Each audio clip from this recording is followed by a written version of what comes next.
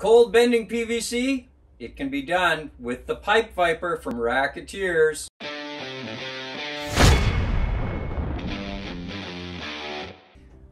Two popular sizes are the half and three quarter. With half and three quarter, you can bend PVC over your knee. And to have a piece of three quarter PVC right here, you slide the PVC, the spring bender into the Schedule 40 PVC, placing it over your knee, you can then get a bend.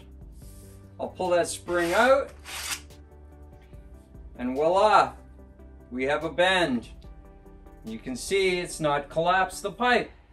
So the spring benders, how they work, it's the same interior diameter of Schedule 40 PVC.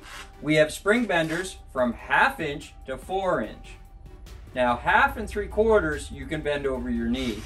Anything bigger than that, you'd need some sort of a mechanical bender. The only thing you need to really keep in mind is the temperature.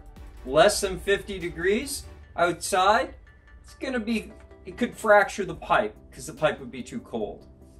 But easy to bend. Spring benders, PVC by Rack-A-Tiers.